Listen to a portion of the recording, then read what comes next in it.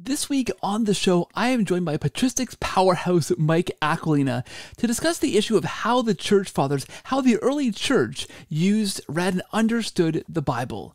It's a really important subject to dig into, I think, because the scriptures are for many evangelicals or Protestants like I was, what forms the church, what forms our understanding of the church. But how did the very first Christians actually read, understand, and use the scriptures? How did they do that to solve doctrinal issues, to disputes within the church, to understand the relationship between tradition and, and the scriptures, to figure out what were the actual scriptures themselves, and how to explain the faith to those who weren't within the Christian sphere? These questions tackled and many more this week as Mike joins me to understand how the early church used the Bible. It's a great episode. Please do enjoy it. Please like it, tell a friend, and hit the bell so you get notified each week when these videos come out. Thanks so much. Hey friends, welcome back to the show. Thanks for being here. Thanks for watching. Thank you for listening. If you're listening on podcast, please make sure you leave a rating or review on Spotify or on Apple Podcasts. That really helps push the podcast out to new people. And if you're watching on YouTube, thank you over at youtube.com slash the cordial Catholic. Please make sure you subscribe to that channel and hit the button so you're notified of new videos as they come out each and every week. Uh, friends, we're in for an absolute treat this week. I am joined by one of your favorite guests and one of my favorite guests as well, uh, Mike Aquilina talks about early church stuff here. Mike is, of course, the author of about a billion and a half books many on the on the early church, including the fathers of the church, the mass of the early Christians, uh, how the choir converted the world, uh, the healing imperative, and and many many more. He's been on this show a number of times as well. I'll link to those in in the uh, the show notes. He is the executive uh, vice president of the St. Paul Center and a contributing editor to Angelus News, amongst other places. He appears everywhere. If you haven't seen him before, I don't know where where you've been. And rumor has it, Mike, that there's a new course at Steubenville offering in, in the fall. It's called Mike Aquilina Studies. and it's a liberal arts degree, uh, as I understand it. So there's a bit of music involved in there as well. And of course, studying your corpus, all the works of the early church, and a bit of creative writing and, and some cooking in there as well, I think, is part of the curriculum, Mike. I it's not correspondence course, not distance, you know, remote course. So I can't, I can't take it. But those listeners in the Steubenville area might be interested in pursuing that course. Uh, Mike, thanks for being here again. Welcome back to the show. Hey, thanks for having me back. You never learn. I don't know. You know what? I don't. I don't learn. Actually, I keep. I don't know what keeps happening. You keep writing books. I keep having you back on the show.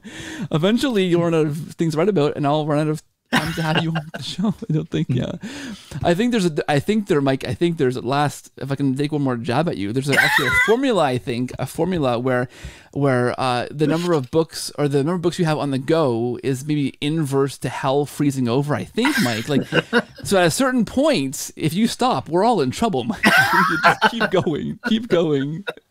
Well, I'm gonna try. As long as I have mouths yeah. to feed, I'm gonna yes. keep writing. Yes, thank you, thank you very much, Mike. Uh, this book is how the fathers read the Bible, uh, scripture, liturgy, and the early church. Didn't mention that in the introduction. Mentioned everything else other than that. Uh, I gotta say, Mike, this is a fantastic book, and there's one primary reason for me that draws me into a topic like this, and it has to do with the genesis of this show hmm. and my own conversion experience. Um, I've in the very first episode of the show, which I hope nobody listens to because it's terrible. It's very, very poorly produced. It's you know three and a half years ago I, I, made that episode, and I kind of talk about my my journey, and it it really began for me when a pastor that I was working for as, as a Protestant still, he was doing a degree in patristics, and he was encountering the early church fathers and wrestling with his own Catholic upbringing now as a hmm. as a Pentecostal pastor of this church that I was I was working for.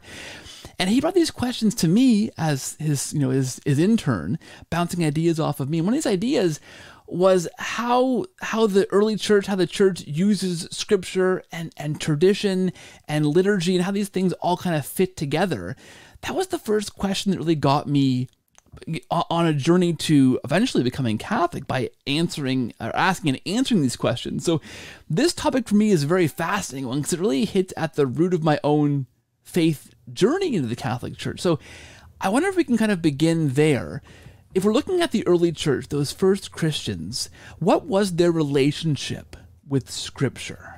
Well, we have to have to do away with so many of our of our notions so many things Yeah, that yeah. that are like wallpaper to us because they're so familiar because what is the bible to us today the bible is something that's available it's at our fingertips you know i got a smartphone i have infinite bible study resources resources available to me by my smartphone.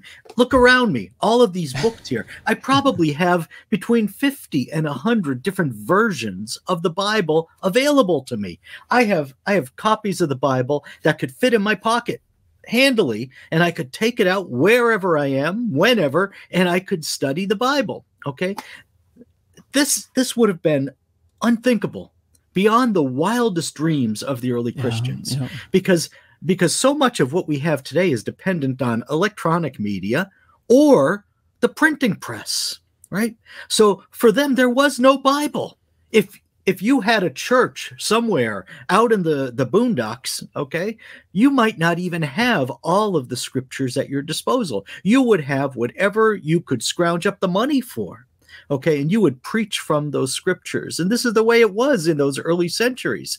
Um, eh, the the scriptures were not something that were that were usually gathered together in one place between two covers okay? They were out there. They were considered authoritative. They were considered inspired and inerrant and all of those other good things. But they weren't generally available to people. So where where did they get their love of the word of god they got it at the liturgy okay? Because that's where the scriptures were proclaimed okay? The scriptures were read aloud at every liturgy. And that's where they were cracked open. That's where they were they were interpreted in the sermons okay? From the earliest days of the church the the congregations would gather for the for the eucharist gather for baptisms gather for these sacramental occasions. And when they did gather the scriptures were proclaimed and they were interpreted. And these were powerful moments divine moments really moments of revelation for the people uh, in the in, in in the congregation. Uh, this is how the christians encountered the bible. It was always in the context of the liturgy. Moreover this is the way the scriptures themselves witness to the scriptures okay? They show us that the scriptures were meant to be proclaimed. They were meant to be received in the liturgical assembly, received uh, during the ritual public worship of the church. We see this in the New Testament. Um, it's uh, it's it's implicit. Sometimes it becomes explicit in the writings of Saint Paul. He gives instructions for the reading of these these letters in the assembly, and there are similar instructions from Saint John in the book of Revelation. We we see our Lord uh, in in you know, following the Old Testament worship, reading in the synagogue in the context of the Sabbath liturgy. And it's that way all through the Old Testament, too. When Moses delivers the law, he does so in the context of a sacrificial liturgy. He sprinkles, he reads the law to the people, and then he sprinkles them with the sacrificial blood. And he says, Behold, the blood of the covenant. So this is just the way that God intended, the way that God revealed for the scriptures to be encountered by ordinary Christians. Yes, we should be doing devotional reading of the scriptures. Yes, we should be studying because we can.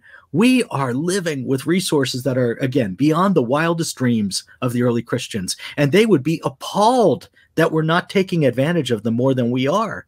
But still, the primary point of encounter with the with the word of God is in the liturgy when we hear it proclaimed and when we hear it interpreted in the sermons, because that's a graced moment. That's the moment intended by God for our reception of His word. Yeah, I think that's so interesting, Mike. I remember I had Jimmy Akin on the show a number of, of a number of years back now. I think actually he had a book on the Bible, a thin little book, kind of intro to the Bible, and he actually in there because he's Jimmy Akin went through and calculated the price it would cost uh, to to uh, make the scrolls and the papyrus and those things that that uh, early Christians had their Bibles and the, th- those th- that form of the Bible, what it would cost, and the costs were astronomical to Yeah. afford even one book of the Bible. Never mind Right. several books or several scrolls. It was just it was just mind boggling, and so to think that And this I find really interesting because you, you, mentioned the importance of private study of the Bible because we have it. We should be be doing that.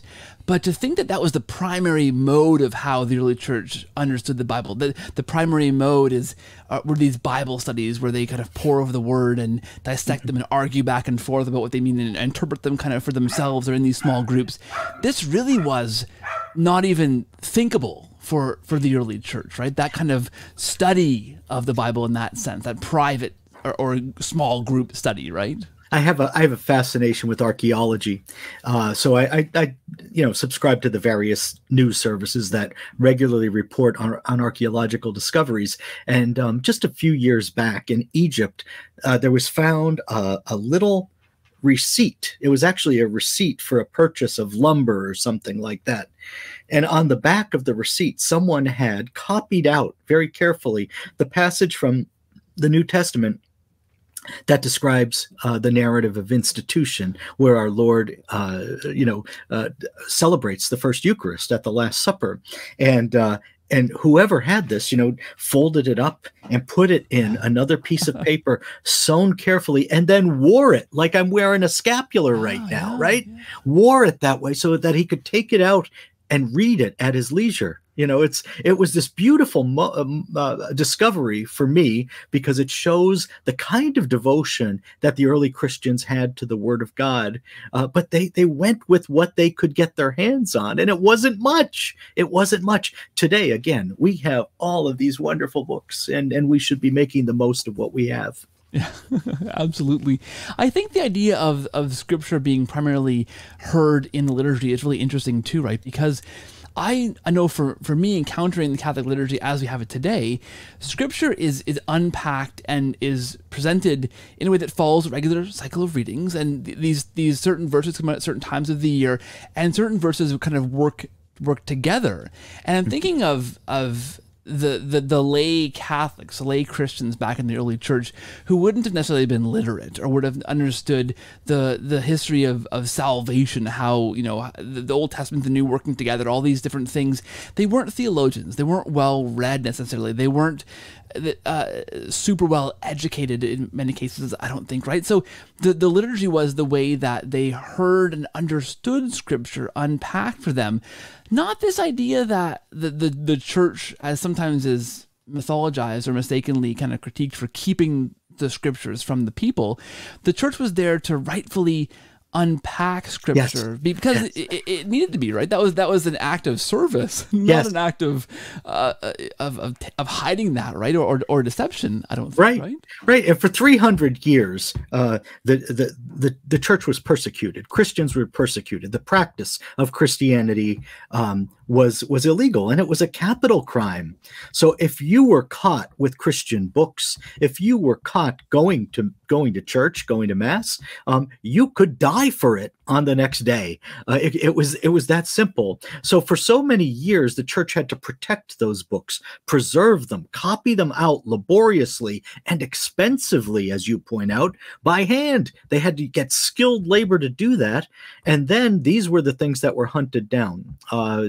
there are plenty of accounts of this from the the, the documents of the early church uh, that that the um, the pagans wanted to get their hands on those books because they knew that they could diminish a local congregation if they took the scriptures from them. So, so this is something that happened quite frequently. Now, once Christianity became legal in the early 300s, uh, and with the with the accession of, of Constantine as as emperor, the first Christian emperor and the first to to make the practice of Christianity legal, um, it was more common to have books, liturgical books, scriptural books, and it became very common to produce lectionaries so that the readings from scripture were distributed over the course of a year and that so that the people could could familiarize themselves with the life of Christ, with the life of Israel, with the revelation of God down through the ages. And they would celebrate the feasts of the year in the liturgy.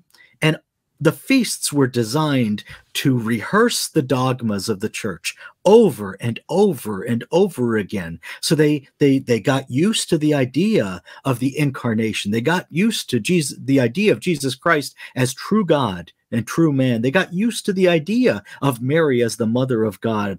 They got used to the idea of the real presence in the Eucharist. All of these things were rehearsed repeatedly year after year throughout your lifetime the artwork in the church was there to reinforce what was encountered in the scriptures. So if we look at the artwork that that survives from the second century, third century, fourth century, it's all biblical scenes. And sometimes they're arranged typologically so that the you know we have the scenes of the Old Testament and then we have the scenes of the New Testament fulfillment. If you if you look at the uh, mosaics that uh, that are still there from from the early church in Ravenna in Italy. Um, you'll see uh, that around the altar there are all the the typological anticipations of the Eucharist from the Old Testament. There's Melchizedek, the first priest mentioned in the Bible, and he's offering his bread and wine. There's Abraham offering his son Isaac, just as as uh, as we're offering the Son of God, you know, uh, to the Father uh, from from from the altar. All of the artwork and uh, and presumably all of the music, everything else that was in the liturgy, uh, was there to to reinforce what was being proclaimed from the scriptures. And that's the way it is still today. This didn't come out of nowhere. Uh, this is this is the this has been the way of the church since those early days. Uh, but really the more um, the more freedom we have uh, the more we can use these great things at our disposal. You know we should be we should be super Christians today because of our access to the scriptures, because of our ability to make sacred art and make sacred music. All of these things that were done to get the word of God out there into the minds and hearts of the people. Um, we should be able to do far better today with what we have. I think that's a great point, and, and, and please do keep hammering that home because it's true, right? This should make us, this should draw us deeper into the Word of God, make us more yes. grateful for what we yes. have, right? Knowing yes. how how different it was. I think that, that that's a great point. Keep, keep making that, Mike. Every keep bringing that, bringing us back to that that grounding. We we do appreciate that. Well, you triggered it by mentioning the lectionary, yeah. and the lectionary is something that has been there since the early church, and it really uh, became more fixed once the Christianity was legal and, and people were able to access these books. Now, the church revised its lectionary in the 20th century and made it a three year cycle so that it could fit even more scripture. and today we're living longer, most of us. And, uh, and so we get to rehearse the life of Christ and the life of Israel and, uh, and the promise and the fulfillment over and over again over a three year cycle over the course of our lives. So this has been so successful, in my opinion that it's that's it's even been adopted by Protestant churches, yeah, yeah. and and and and we're we're at the point now where so many churches are all on the same page, so to speak, or literally on the same page in the lectionary, because the Presbyterian churches, Methodist churches, Episcopalians, Lutherans are using the Revised Common Lectionary, which is is an adaptation of the lectionary that was produced by the Catholic Church in the early 1970s. Yeah, I think it's fascinating that the pastor I mentioned earlier, that that church, they began in this journey to use the lectionary. Hmm. Uh, in, in it was non-denominational Protestant church. I began to use that. That's an interesting tie-in there. I wanted that as I listened to you explaining this and and how Scripture is kind of seated in the church and how it was used in in the liturgy, it sounds to me like the answer to the question kind of of what came first, or not what's more important, but maybe what was the the thing that that I don't know, I think came first, maybe is the right way of putting it.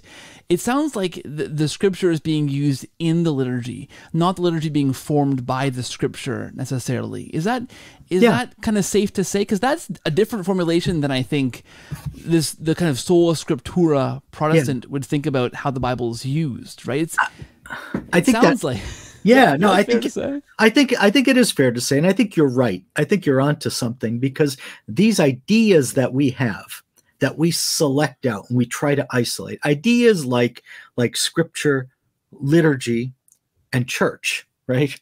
Um, read the acts of the apostles. There are no clear distinctions between these things yeah. right? Where we, we find saint paul celebrating the liturgy late into the night right? And and and breaking the bread and everything. Uh, so it's a eucharistic liturgy. It's a long liturgy. He's preaching you know he's interpreting the word of god. He's he's breaking the bread uh, and uh, and he's doing it in the context of the church the the assembly there. So so these things that we kind of abstract out were were so integrated in the in the time of the apostles uh, so so that they were actually integrated before there were the new testament scriptures right?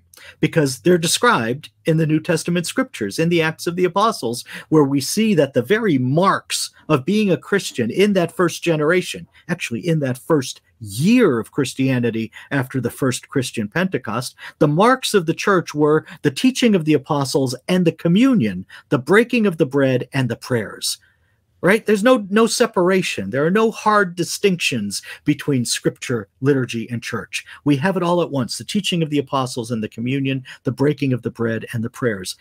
Read the accounts of the liturgy from justin martyr and tertullian in the 100s they walk you step by step through the liturgy. That's the order of the liturgy and it's also the order of the liturgy when i go to mass on sundays in my parish so, not that much has changed in the Catholic Church since the Acts of the Apostles. Things have developed, but things really haven't changed.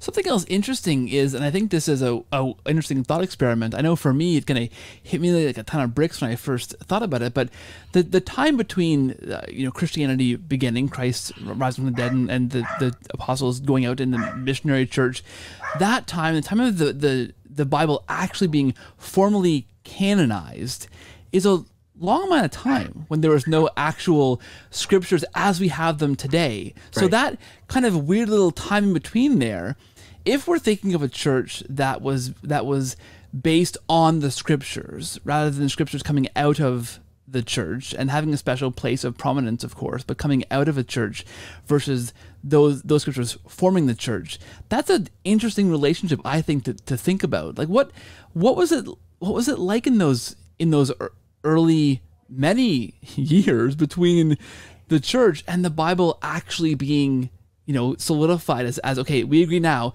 these are all the books. Because it didn't, as Jimmy Akin says, fall from the sky. Right. Intact right. like this, right? Right. Uh, well, in that first generation, I'd say it was it was an extraordinary time. It was a singular time, and the apostles spoke with the authority of Scripture. They had that oh, special yeah. Yeah. authority, so that they were producing the Scriptures themselves. They were preaching with that authority. What we see happening in the acts of the apostles is is is remarkable. It's marvelous to see. You, you, know you just you just have have these men walking the earth and they're not perfect okay? Because the acts of the apostles also shows their flaws right? But they're not perfect men but they have an authority invested in them that's unique in all of history they're going ashore in places like malta preaching the word uh, you know, uh, performing these signs and wonders, and people are converting to Christ. I'm uh, big. In, I'm big in Malta, Mike. By the way, just in case you're wondering. You're what? You're big into Malta. I'm big in Malta. Are you? Show. Yep. Hello. Well. Hello, everyone in Malta. Sorry. Hello, all of my family in Malta. You know, you I, I'm, I'm told that my ancestors come from Malta. It's probably them listening. Thanks. Sorry, they're going ashore in Malta, and then I got sidetracked. Yeah. Well, anyway, it's um, it's uh, uh, and they're they're making a difference. You know, they're making converts. They're bringing people to Jesus Christ wherever they go ashore. Paul goes from Malta to Sicily. He goes, uh, you know, he's on the the ship in Sicily. We know for three days. I can't imagine that Paul wasn't wasn't doing the same yeah. thing there, even if he had to do it on the ship or at the port. You know, that's the way he was. He, uh, you know, they seemed to give him a long leash, his Roman Roman uh, uh, attendants, and uh, and uh, and and he made the most of of, of what he had. Um, Paul had an encyclopedic knowledge of of um, of the scriptures. He had to memorize the scriptures in his training as a as a Pharisee, as a rabbi, and so he had a lot of the Old Testament, what we call the Old Testament, at his disposal. And you can see that in his letters. He alludes to the the books of the law. He he um he he uh, he alludes to the the prophets he he quotes the prophets you know he works with it he's uh he's he's uh he, he's got a command of the material i imagine that that some of the other apostles must have had a pretty good familiarity with the books that we now call the Old Testament, and they made the most of what they had. But they also had a supernatural gift and a supernatural authority uh, that they were using to produce the books we call the New Testament uh, in the course of their lives. Yeah, it's such a fascinating relationship, right, between the apostles and the scriptures because you're right. we see things happening in one place in scripture that then is recorded elsewhere, right? We see things, you know, Paul will refer to something and we see, oh, this is when that happened over here, right? And you can kind of compare and contrast things with these pieces together to mm-hmm. see a larger picture. It's it's yes. really interesting to see that kind of unfold in real time and then that becomes the scriptures that that we read today. I think that's so interesting. And it's cool how quickly it happened yeah. because we have the writings of the apostolic fathers. Yes, yes, I was right? going to say, yeah. And they're, they're, they're just a few years later. And these were the men who were baptized and discipled by the apostles. And what are they doing? They're already quoting the apostles as scripture as authoritative as revealed by god right and uh and they assume that the people even the people across the ocean will have some familiarity with the books that uh, that we now call New Testament scriptures, right?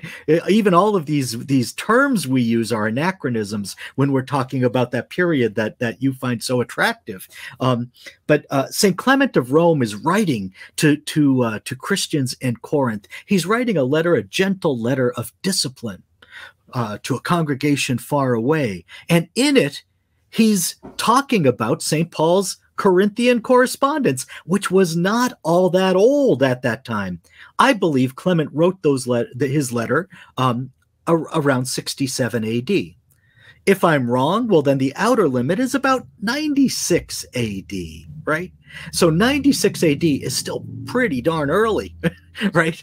And and yet already he's assuming that Christians on the other side of the ocean will have this familiarity with Paul's letters because Paul's letters held that kind of authority even, you know, a few years after his death and even a couple decades after his death and they were read these letters these these, these works of the uh, apostles were read kind of on par with the old testament in, in liturgy is that right like they were they were kind of seen as the, in the early church as as having as you said that that kind of that kind of weight to it that living yes. authority yes. Uh, almost immediately right yes. Were, you know, and and we have evidence of that from very early on. Uh, you know, uh, the, the, the the writings of the apostolic fathers again show a deep familiarity with the Gospels, for example, and uh, and by the time we get to Justin Martyr in the middle of the 100s, uh, we have we have Justin saying that at every liturgy. Um, there were read aloud the memoirs of the apostles, you know, which is the term he uses for the gospels because again all of these terms that we're imposing on those books now were not in common parlance then. So when justin talked to people outside the church he had to refer to them uh, by their um, by their literary genre which to the pagans would have been memoirs right?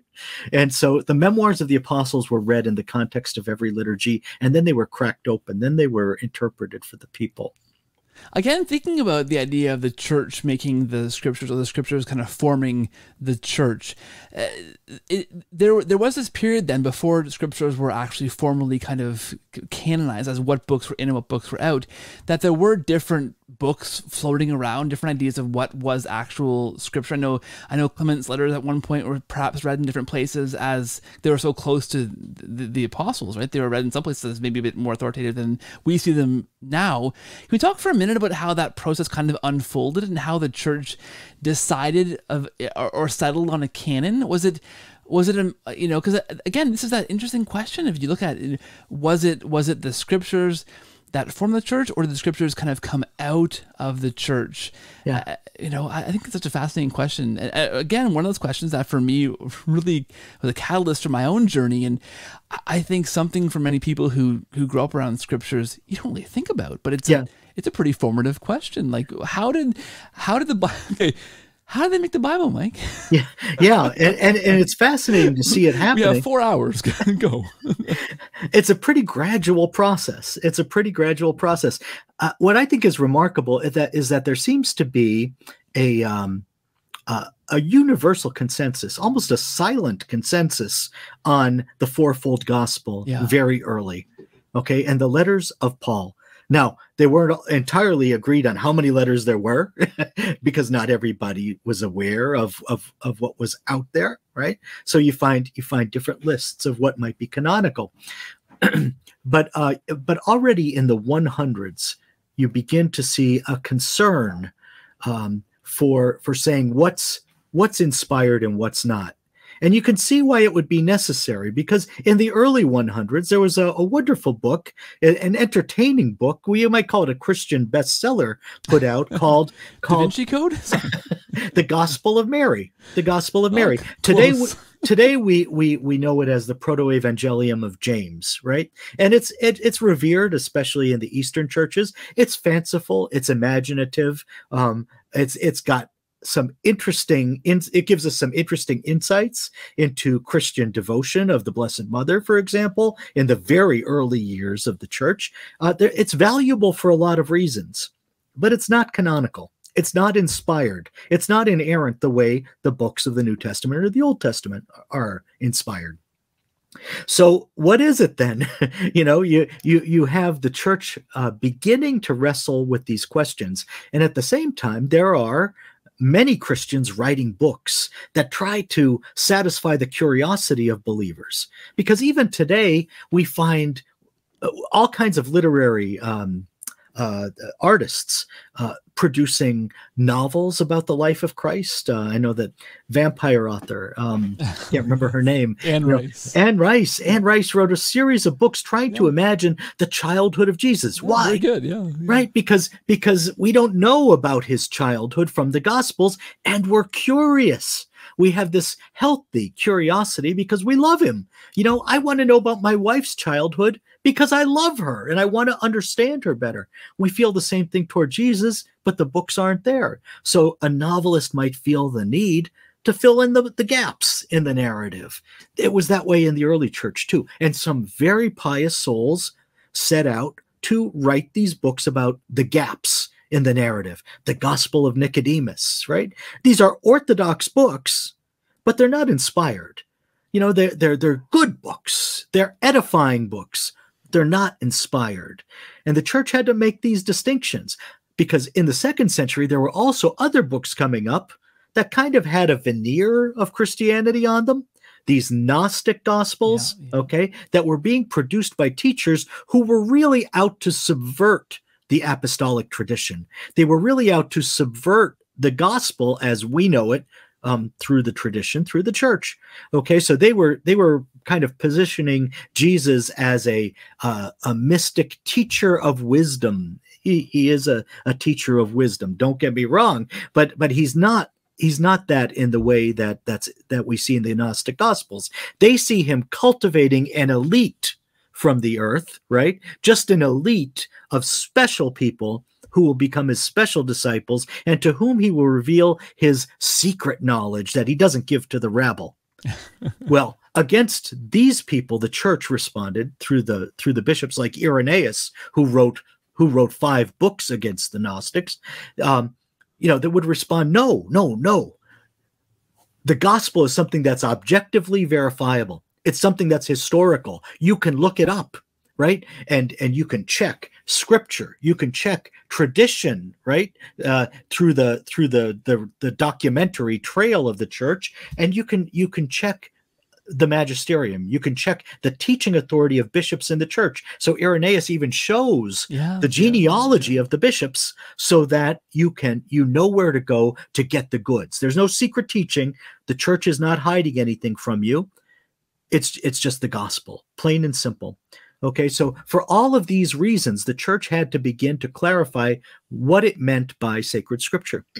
So, as I said before, in the 100s, we begin to see Melito of Sardis put together a canon. Okay, we find the anonymous Muratorian fragment, which which has a canon of the New Testament, because it, it's it's intended to counteract the canon that was put together by a very wealthy heretic named Marcion, who was a shipbuilder in Rome and, and was paying to start his own church as a rival to, to the Catholic, Catholic Church, to Catholic Christianity. Marcion's uh, Marcion had his own canon, and his canon was much simpler. It was the Gospel of Luke edited to remove all Jewish references, and the and and the the, the epistles, uh, the epistles of Saint Paul, again edited to remove anything um, referring to the Old Testament in a positive way, because Marcion believed that the God of the Old Testament was different from the God of the New. So, against these efforts, the church had to establish a very clear table of contents for sacred scripture. By the by the middle of the fourth century, you have Athanasius of Alexandria setting out that that table of contents as we can find it in any New Testament today.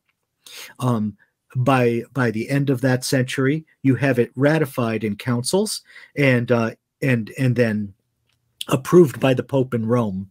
So by the early fifth century, there there can be no question about which books are canonical and which are not. One of the criteria that they used for determining canonicity, as we see in the great controversy of the over the Gospel of Peter in the 100s, um, was uh, whether the book was read aloud in the liturgy or not.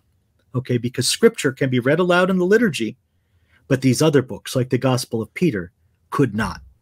Yeah, I think again that's so interesting, right? What a fascinating point. And if you had told me these things before, you know, years ago as I was uh, in, my, in, my, Protestant church, I would have said, well, Mike, I mean, scripture is scripture. Like God put that together. He put the table of contents together. We, this is our Bible, right? But when you begin to, to ask those really probing questions, how the early church used the Bible, well, you begin to encounter these strange situations where it, it seems to me, and I don't know way around this, that the, the church really was on that authority that the apostles passed down to their successors on the authority that uh, you know the magisterium the bishops and these councils the pope eventually.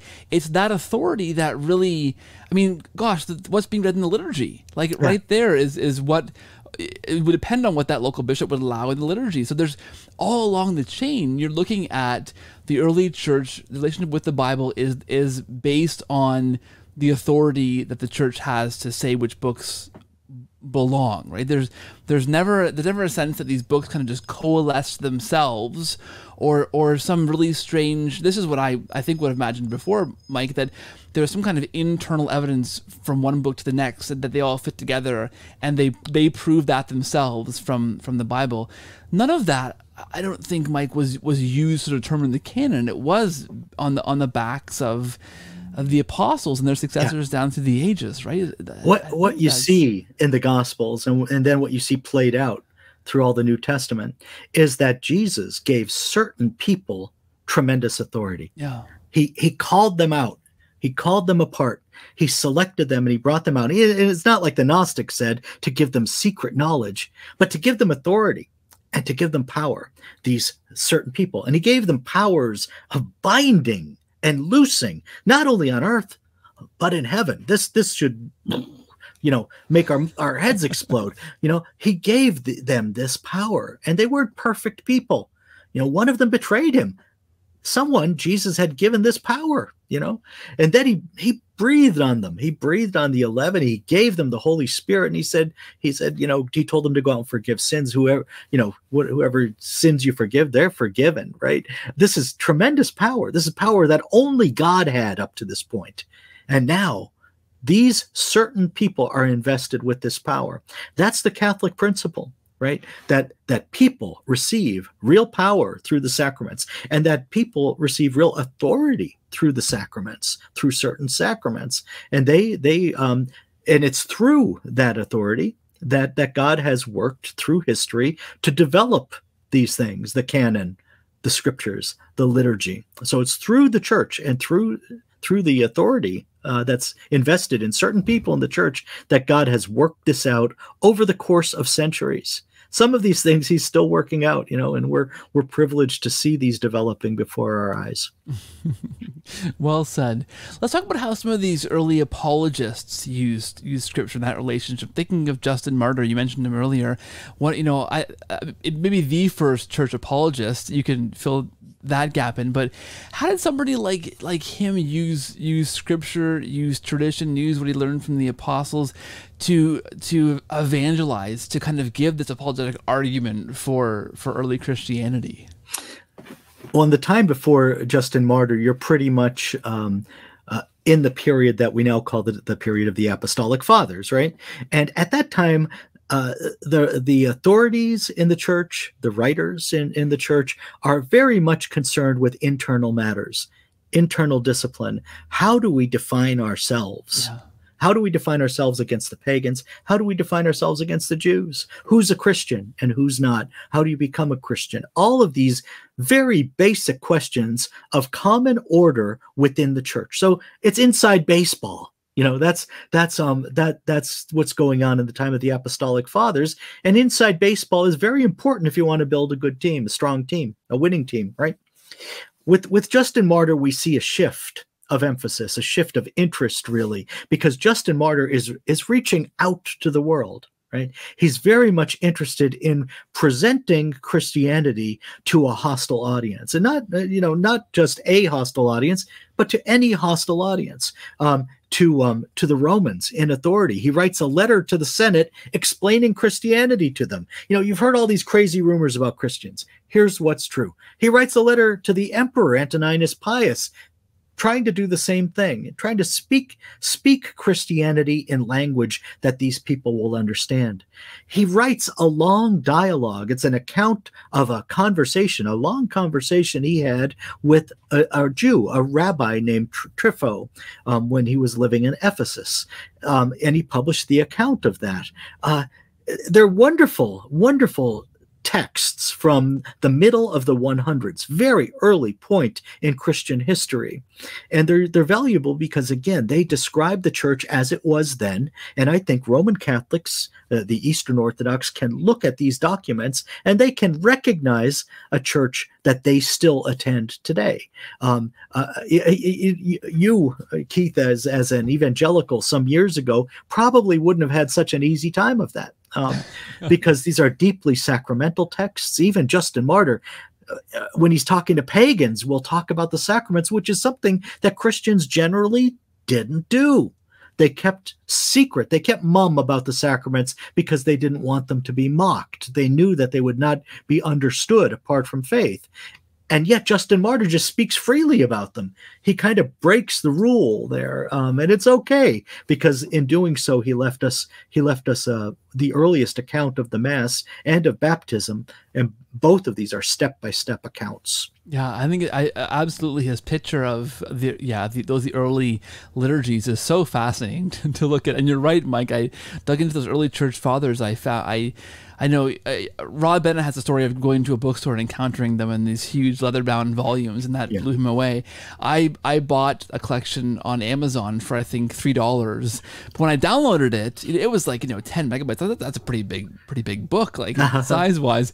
Downloaded it, and it was like like eleven thousand pages, and I kind of went, okay. You know, I didn't have the bookstore leather-bound experience that, that Rod had, but I had a equally modern digital experience where I downloaded it and thought, 11,000 pages. What is going on here? But you encounter someone like Justin and his uh, how he lays out what liturgy looks like. And you're right. I kind of went, well, my church looks nothing like this. Yeah. Uh, not even nothing nothing was was remotely similar in terms of how that looked. And I kind of had to go, oh, what and Justin teaches teaches us so much about Scripture too, as it was uh, as it was yes. revered in those early years of the church. Eh, eh, eh, he's not doing it explicitly. He's not he's not teaching a course on Scripture, but in dialoguing with the pagans and with Trypho, he's talking about these books and he's talking about the special status that they have within the church. When he's talking with Trypho, he's talking about how we we we recognize the authority of of the Hebrew scriptures but we see those fulfilled yes. in the new testament. And he and he tells that story. You know he's he's he's bringing that um, to to this person who's who's not not um who's not open to the message really. But he but he's he's he's willing to have the conversation. What's interesting about that dialogue with Trypho is the honesty of it because you you think Justin is writing this some years later. He's already across the ocean. He could have portrayed himself as the macho apologist hero who just like won the the the the match, you know, and then at the end of it all, this this this interlocutor becomes a Christian. But that's not the way it goes. At the end of it, Trypho is still not a Christian. He's still not convinced. But the two men decide to part as friends which is a beautiful, beautiful witness to us today boy, we should be listening today when, we're living among so much division and where we're, we're we're living among people who are just so eager to pronounce anathemas on their next door neighbors, you know, or on their Facebook friends, whatever, you know. but here we have this example from the the the mid the early 100s, really, of of two people who are who are at odds who have a serious disagreement about the nature of history, the nature of the world, the nature of salvation, uh, and they can they can still part as friends. Yeah, I think that's a fantastic lesson. Absolutely. Uh, I want to ask you about how the early church wrestled with the, these big topics. Like we know that the early church was was forming and understanding how how they believed about all kinds of things. Right, the nature of Christ was not uh, you know a, a, light didn't flick on and everyone understood exactly how Christ was man and and God at the same at the same time. Right, these things were discussed and understood and kind of unpacked by the early church in in councils and things. So, how did Scripture enter into those kind of discussions? W- was it a matter of we're going to search the scriptures and find these answers, or, or how did that relationship work between those councils and and you know figuring out what we believed as, as Christians in those early days. I, I, think the great model of this is Irenaeus, and as I said before, he he he he looks to these three points of authority: scripture, tradition, and magisterium. Right, uh, because because these are objective points right? It's not opinion. You know, it's not my theory or anything like that. We're we're we're we're holding ourselves accountable to scripture. We're also holding ourselves accountable to the church's interpretation of scripture and the way it's always been interpreted. So we go down through the historical record. We have a Bible study group with members who lived 1500 years ago 1700 years ago 1800 years ago 1900 years ago. These are the members of our bible study group okay? When we want to study a question of scripture we find out how it's always been interpreted by the church and we hold ourselves accountable to that. So we're not introducing novelties for example, because the, the language has changed, because sometimes words shift in meaning, okay? And we can read scripture and not quite get what it's saying because the words ha- have, have shifted in meaning. I love this series. It was put out by an evangelical an evangelical publisher, but it's the ancient Christian commentary on scripture, okay? And what it does is it goes through the Bible verse by verse. And for every verse of the Bible, it gives you what the church fathers said about that verse. So you can walk, walk through Genesis, you can walk through Revelation, and any book in between, and see what the church fathers said about every verse in Scripture. Not just one father, but several fathers for for each verse.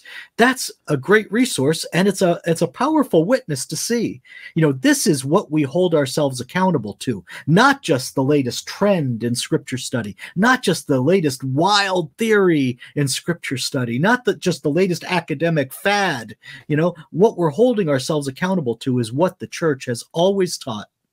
So I think what we do today, what they did in the councils, was what Irenaeus did in in 170 AD. You know, they they they looked to scripture and how it was read in the tradition. They looked to the living bishops and found out what the bishops said about those particular passages of scripture. This is what we see happening in the councils themselves, in the acts of the councils that are, that still survive from the fifth century, for example. The the Council of of Ephesus. How did it begin? It, be, it began by Cyril of Alexandria standing up and um, and and reading a chain of of witnesses from the fathers of the church to the interpretation of scripture on the doctrine of Mary's status. So it's it's it's it's what was done uh, by Irenaeus in the 100s. It was done at the Council of Ephesus in the 400s, and it's what we're still doing today. That's fantastic, Mike. I gotta say, I did get my hands on one of those volumes once. I went, I, I brought it to a Protestant Bible study, and I really got into some trouble there, Mike. As you can imagine, I began to quote these early church fathers on the verses we were studying in this Bible study, and uh, I became pretty unpopular pretty, pretty quickly, if I recall. But you're right, and that is a uh, you know, in, in the in by and large in the Protestant world, an untapped way of understanding teachings and the Bible and Scripture, seated in history like that. But as you say, and I don't want to I don't want to sound triumphalist, but that's how the Catholic Church has intended to do it all along, right? Yeah. And sometimes it's the way it's presented. I like to think about it as a Bible study Yeah. that I share not only with the people in my church, not only the people in my parish or my neighborhood, but with the pe- with people who have been living down Yeah. through the ages. You know, I can go back and read what they said in interpretate in, in interpretation of a particular verse of scripture. I can find out what great Christian minds have thought about that verse down through the ages and I can interpret it um, the way they did, or at least take that into consideration, Yeah, yeah. hold myself accountable to it when I'm talking about that verse. Because anytime, you know, I I I'm tempted to diverge from the interpretations of the fathers. I know that I'm getting into a red zone. You know that I, I'm more likely just following my my own um, pride, or I'm following some fad because this is what what everybody in academia is doing now, Yeah, or um, you know what some some some scholar wrote in a book, or that's uh, that kind of thing. And and fads come and go. Academic fads come and go Yeah. um, but the, the teaching of the fathers remains and it remains authoritative you know as catholics we believe that if there is a certain interpretation that has gained the unanimous um, consent the, of the fathers that if the fathers agree on the interpretation of a particular verse um, then then we have to consider their interpretation to be to be infallible Yeah, and it- and it's it sounds so goofy. I'll put myself in this camp. I was one of those goofs to just open your Bible in a room full of, of people and begin to read it and go, yeah, I think this means this. I think this means this, and talk back and forth. There's a great place for that studying of the Bible in community like that. But Yeah. to read that so out of context of how the church has always read that when we have those resources to know how the church has always read these things and what the church has said before us i mean that it seems goofy to do bible study in a, in a vacuum like that but i w- wouldn't have known better i didn't didn't know this huge untapped resource in the church fathers and then the church teaching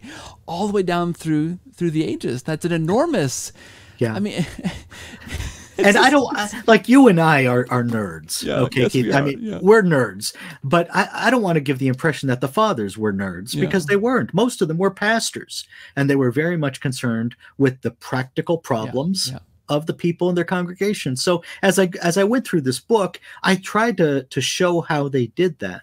You know, like Chrysostom has has all this wonderful material addressed to parents about how to raise their kids with a love of the scriptures Yeah, yeah. and how to raise their kids with a with a mind that's formed by the scriptures. And it's so practical. You know he's he's he's he's uh, beginning where they are and he's he's he's um he's re- referring to the customs of child rearing during during his time. But he's also showing them how they can take those same customs and just tweak them a little bit tweak them a little bit and use the scriptures to raise their children and raise them right. So so yeah the fathers have this really practical edge because they're all pastors. There were no academics among the fathers. No no theologians as we we think of theologians today. They were theologians but they were they were theologians very much in practice. They were preaching the word of god from pulpits in churches I love that. No academics. Uh, beware, academics. Of never making it into the canon of some of my best Yeah, friends are I love it. Uh, academics yeah, yeah. They're, they're, not. They're not. They're okay. I, I would be remiss not to talk about Saint Jerome as we Oh, yeah. uh, in, discussion of how the early church fathers used the Bible, because he is. I mean, for one, I, I resonate with him deeply in his sarcastic kind of. a, uh, uh, front right. This is this is the cordial Catholic, but it's really an aspirational title. I'm more of a Saint Jerome than I am anybody, any other church, early church figure in in in my kind of sharper edges. But he his relationship with Scripture is very fascinating, of course, for lots of reasons. Uh, uh, one amongst many is is how he, in one sense, uh, r- ruined the uh, what we'd call the deuterocanonical books, kind of spoiled them for future readers by by bringing them into question a little bit in his trans his translating of things. He gave Protestants some suspicions uh, on one hand, but did so much for Scripture in, in his translation work. Uh, but but wrestled with with questions too, right? The relationship of the Jewish scriptures and the New Testament, yeah. um, uh, issues of language, right? Of, of Hebrew versus the Greek, and then into the Latin. What do you? I mean, we could talk for again hours just about Saint Jerome, but what do, what do you think listeners would be interested in hearing about in, in Saint Jerome's colorful relationship with, with, with Scripture and how his impact or how he he used it? What do you? Well, I'd say uh, just think about the heroism of his project. Okay, yeah. now now we we we do our typing on a computer. You know, we store our work, we we edit our work, and all that stuff. He didn't have any of that. Okay, he didn't have any of that, and yet what he did over the course of the lifetime is prodigious. If if anyone did anything like that today, we we just stand and marvel at the accomplishment. What did he do? Well, the, the, the Pope was concerned because there were so many different versions of the scriptures in Latin that were making the rounds, and, and they didn't all agree. So this was confusing the faithful because they they'd go to a different church and they'd hear a different version of the gospel. You know, uh, so so the Pope wanted to unify the the various Latin translations of scripture okay these latin translations from the original greek of the new testament and so he asked jerome to do that which was a very controversial thing because anytime you change the words yeah. that are proclaimed in the liturgy you know there's going to be war. So so jerome encountered a lot of resistance a lot of opposition during this time. Even saint augustine opposed him because augustine thought that you shouldn't mess with the familiar texts as the people had heard them all their lives.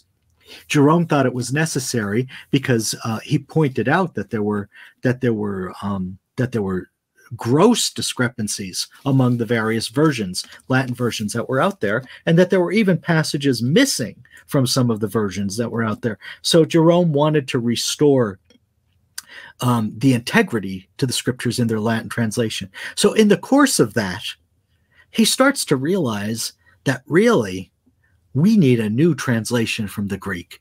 So now, not only is he just Uh, just making a, a, unified Latin translation, but he's making a new Latin translation from the Greek. So a second time he's going through and he's making this time a fresh translation.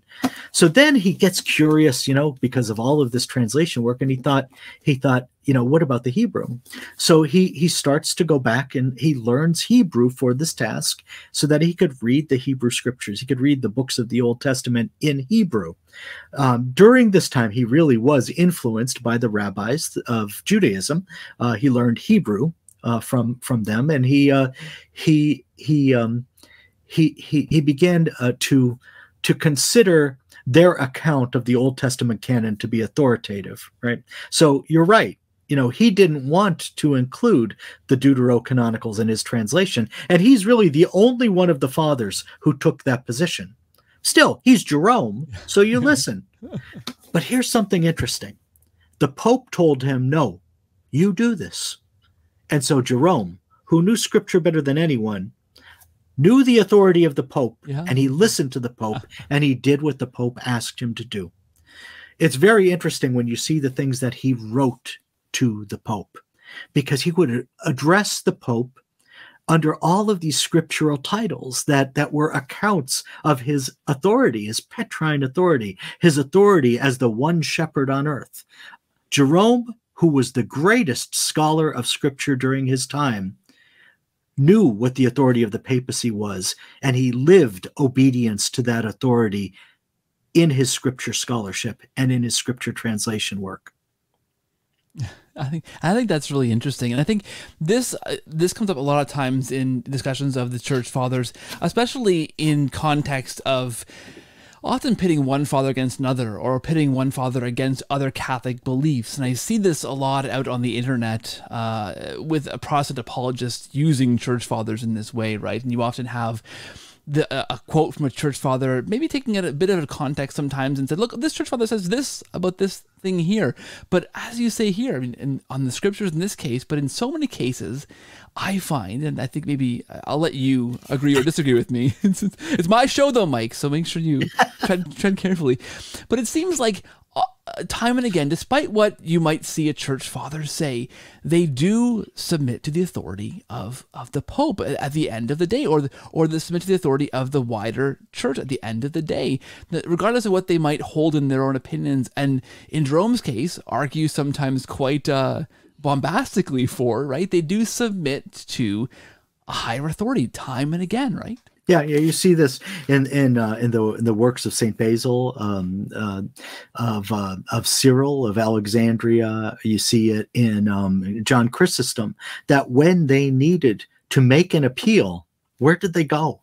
Right. They went to the to the to the Bishop of Rome, and they they they uh, they they they called upon that authority. Now, sometimes they were disappointed in the response.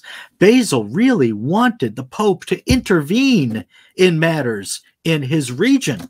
He wanted the Pope to, to you know, just go in and start, you know, go, you know, busting heads and taking names, you know, and the Pope didn't do that. And and Basil was was profoundly disappointed by this, but he didn't say as a result, "That's not my Pope," right? No, he he accepted it okay as this pope's judgment. He recognized that this pope had the authority and he did not. He was disappointed but he did he didn't use that as a as a reason to attack the authority of the pope. Um, we find so many of the fathers depending on the authority of the pope. Athanasius is another. Um, uh, I, I i find that often when people want to um, to dissent from this, what they do is they'll go through each of those witnesses. They'll go through Athanasius and Basil and Cyril and so on and Chrysostom, and and they'll they'll they'll say, well, there's this little flaw with that this one, and oh, uh, you know, there's a there's a loophole in that one, and they'll they'll find they'll find a little flaw in in each and every one of those witnesses, but still you have the preponderance of witnesses, okay, and if you take them all together or if you take them individually, they're still professing a faith that you will not find in any evangelical church in America, at least. That's what I've seen, and probably anywhere in the world. You know, they are professing a faith that we can only find in the apostolic churches today. And that's what we have to walk away with. You know, there's this preponderance preponderance of of um of, of evidence that cannot be denied. Yeah, well said, Mike. Well said. I want to leave with the last word here. I want to ask you just to tell the listener, uh, maybe again, what we what we should take away as modern day Christians, modern day Catholics, looking at how the early church read Scripture. You've you've waxed poetic already about how we should be more appreciative. What else do you want to say about how we should engage with Scriptures, keeping in mind the early church's relationship with Scriptures? Well, I, I, I like what I see a lot of people doing today, and that uh, so many people now are are subscribing to these these magazines, devotional magazines, um, like Magnificat, like Word Among Us, where they give you the daily readings and they give you reflections on these readings sometimes from from saints who are long dead sometimes from from christians who are living today and and they're giving you an opportunity to prepare for the liturgy okay? So you're not just going in and and and allowing yourself to be surprised by the readings and then being disappointed because you cannot hear what the lector is saying you know in your old ears or you know in my case you, you can see what my problems are. Um, but they're, they're giving you an opportunity to go over these things and ruminate in these things. My wife really inspires me in this way because this is the way she lives the liturgy day after day after day. Um, and again you can do this um, there are apps that do this for you today uh, you're uh, the God is holding our hands. You know, He's lavishing gifts upon us, and and we should appreciate that.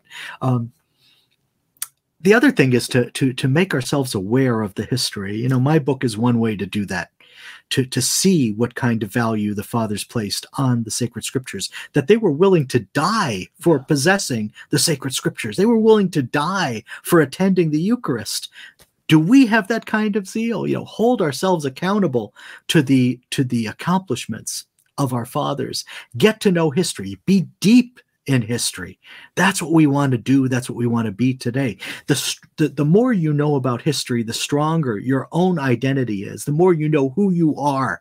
I have friends who spend hours every week on genealogy. You know, they're doing all this these these web searches they're using all of these paid services. You know they're searching databases in the old country. They're searching databases in the united states. You know they're getting help from the mormons right? All this stuff you know? So they can get their own genealogy. Why do we have a drive to do that? Because we want to know who am i? The more important answer to the question of who who am i is is is who am i as a christian because this is the only thing of, of eternal value. So be deep in history.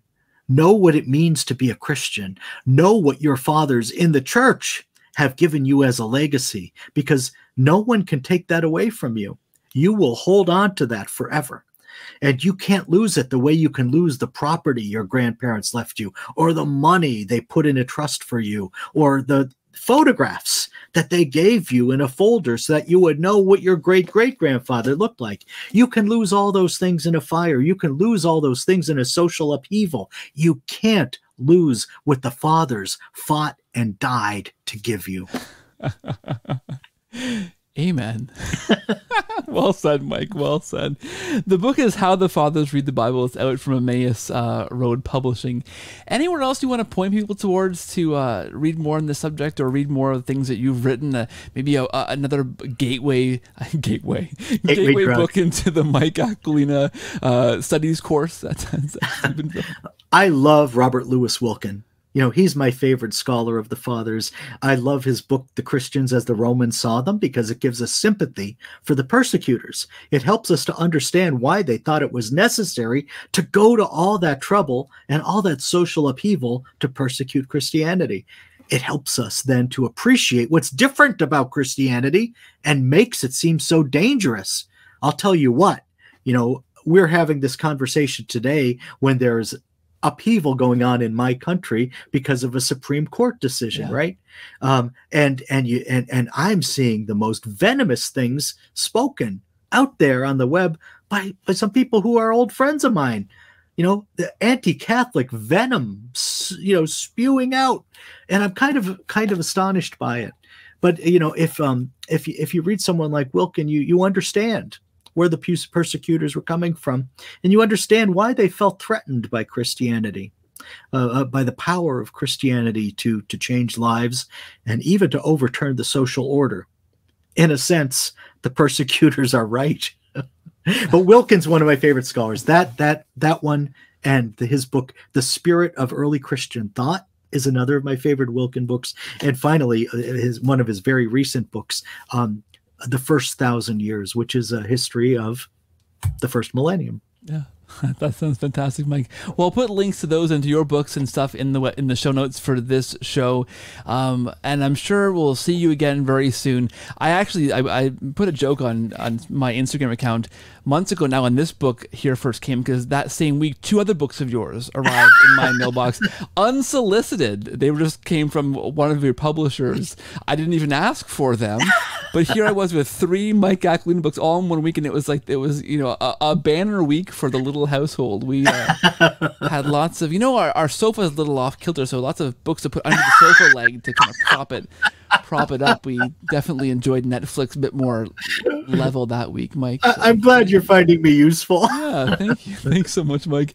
Uh, I want to say God bless, Mike, the work you're doing for the church. It's phenomenal, obviously. And uh, thank you for being here once again on the show. Uh, it's truly a pleasure for me and for all of our listeners. So thank you so much, Mike, for being here.